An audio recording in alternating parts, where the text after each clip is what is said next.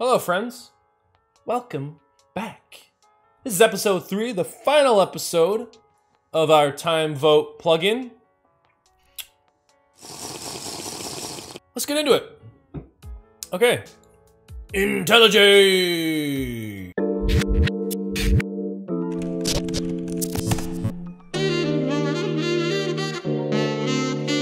So in the last video, we went ahead and we set up our entire utilities class here. And now in this video, we're gonna go ahead and set up our command and we're gonna go ahead and set up our events class. So let's do that. So let's jump into our events class. This is going to be fairly easy. It's just basically one event, right? So we're gonna go ahead and say event handler, public void, sleep vote. And then we're gonna go ahead and say player bed enter event, event. We're gonna go ahead and get the player. So player player equals event I get player. I know I said that fast, but this is something very easy. And then we're gonna go ahead and say if, and now the next thing we're gonna do is we're gonna go ahead and get the world of the player. So we're gonna say player dot get world. Let's add a space here. And we're gonna go ahead and say world dot get world. Or, so one of the first things that we wanna do, when you sleep in a bed, you can also cancel rainstorm or thunderstorms. So this is an optional thing for you, uh, but this is just something that I'm going to do. Basically, I'm to allow it to basically keep resetting storm. So if somebody sleeps in the bed, the storm goes away. And when I'm doing this, uh, I'm just setting a message so everyone knows who cleared the storm. So if world dot has storm, let's just go ahead and say is world dot set storm false. And then we'll go ahead and just copy this over. And then we're gonna return. Now, you're probably wondering, why are we returning? Well, we're returning because somebody might sleep in a bed to cancel a storm, but not necessarily want to activate a time vote. So that's why we're doing this right up front. Okay, moving on. So let's just go ahead and say is if plugin that is vote active, and we'll change this to is not active. We're gonna go ahead and say if world, we're gonna go ahead and check the environment again. So if the environment is not equal to world environment, I don't know why the default's nether. So if it is not a normal world, let's just go ahead and send a message to the player saying that this can only be done in the overworld. And now I could just create a method in the util that does a check, which probably would be the smartest thing. So let's just do that. We'll just throw it right here we'll say public void is overworld. So, is that? I like it like this. Is overworld. And this is gonna take in a world and a world. We'll take we'll take in a player, and then we'll just get the player's world. And then we'll say world world equals player dot get world. And we can get rid of this return. Or actually, we'll make this a boolean. So we'll say return false. Else return true. Probably don't even need the else there. Uh, we can just we can just do that. so if it is not the overworld, we're going to return false, and if it is the overworld, we're going to return true. So we're going to go ahead and say is overworld, and now we can get rid of this here. It will say is overworld, and this is going to be player. And now we can go here in our vote event. We can get rid of this. We can go ahead and say plugin, oops, not player. Plugin uh, vote util is overworld player. Oh, wait, no, we want to do, uh, uh,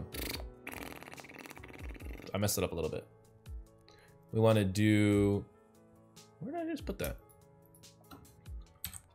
If not overworld. Return. There we go. And then here we want to do the same thing. If not overworld, return. And we'll say plugin vote util that is overworld. So if it is not an overworld, we want to return. If it is, we're going to continue. And then after that, we want to just go ahead and say plugin vote util. Oh, I keep doing player plugin.voteutil.start vote. And I'm not sure why that's a capital. You guys were probably screaming at me in the previous videos. Okay, so we want to go ahead and start the vote, which is just going to take the player. and we'll start the vote. And if a vote is active, so we'll go ahead and say else. We want to say if not. So if the plugin, so if the yes vote set does not contain the player, we want to go ahead and say plugin get yes vote add, and this is going to be player get unique ID, and then we're going to go ahead and send the player message, send message, and I'll just copy this because I want to. And what we're going to do, because now we can vote for day or night, this message doesn't quite apply, is because you chose to sleep, you are voting, you are starting a time vote. And that doesn't need to be capital T. Because now you can click your bet at any point in the day and you can start a time vote. Okay, let's move on to our command. So we're almost there and then we'll get testing this out to make sure it all works. So in our command here, we want to go ahead and make sure that the command is an instance of a player. So command sender, instance of player, because we don't want the console to do it. And if it is, let's go ahead and say player, player equals, uh, oh, not event, sorry. We're gonna go ahead and cast player, and this is gonna be command sender. And then we wanna get the world of the player. This is gonna be player.getWorld. world. Great.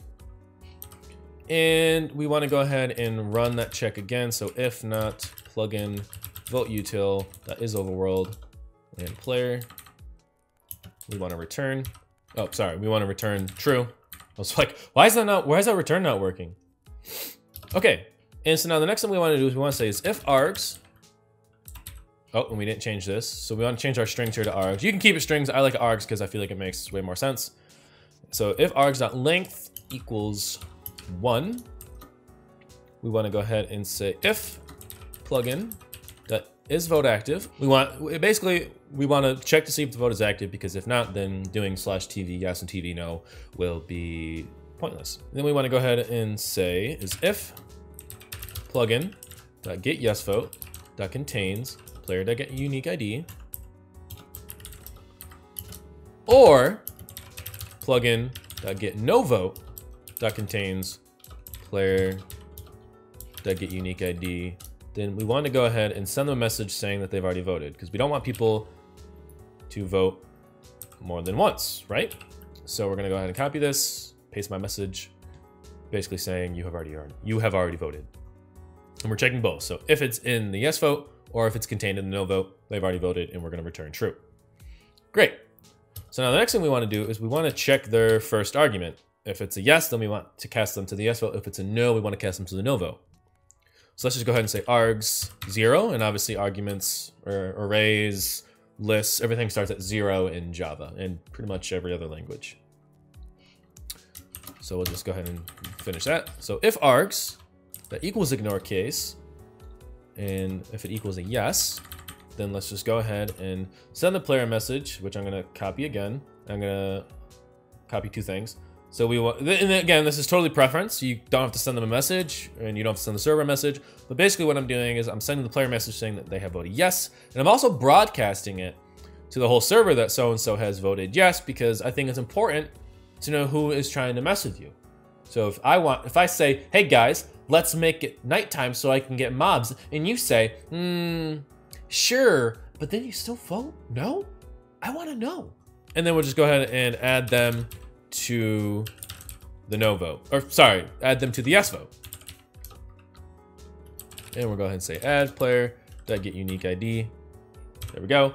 And now we're just gonna go ahead and copy and paste this because it's pretty much identical, except for the only thing we're changing is no. Um, in the message a little bit. Um, so I'm just going to copy and paste this because, again, it is pretty much the same thing, just in reverse.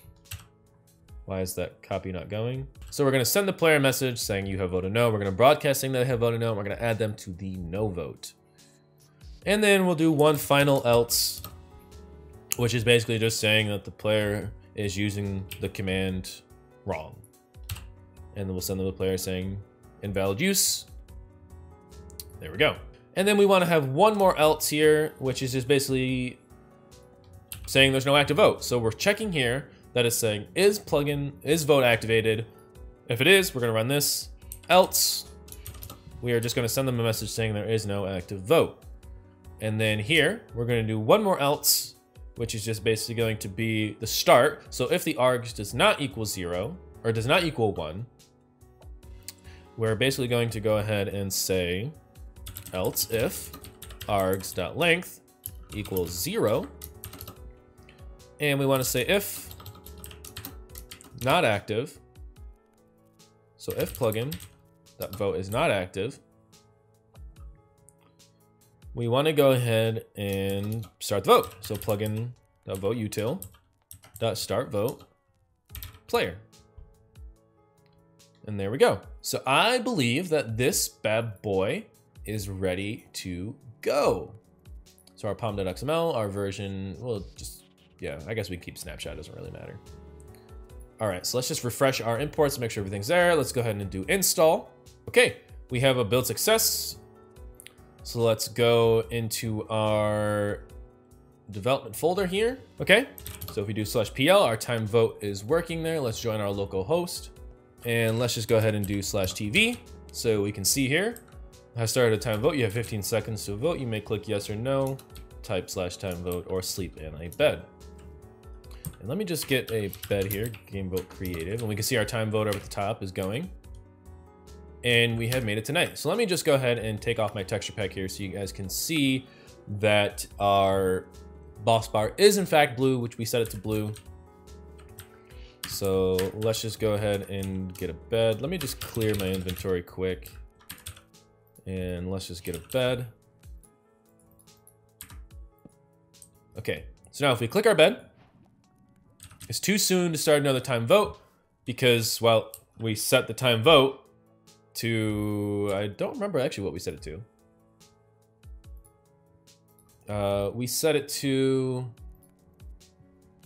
10 minutes. So to easily get around that, we're just gonna go ahead and do a reload confirm. So we know our vote delay at least works. In this sense, obviously I can't wait around for 10 minutes to make sure I can set it to one minute, um, but I know that this works. So let's go ahead and do here.